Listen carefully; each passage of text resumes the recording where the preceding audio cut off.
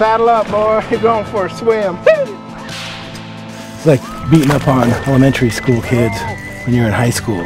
Kind of feel bad, but it's also kind of fun.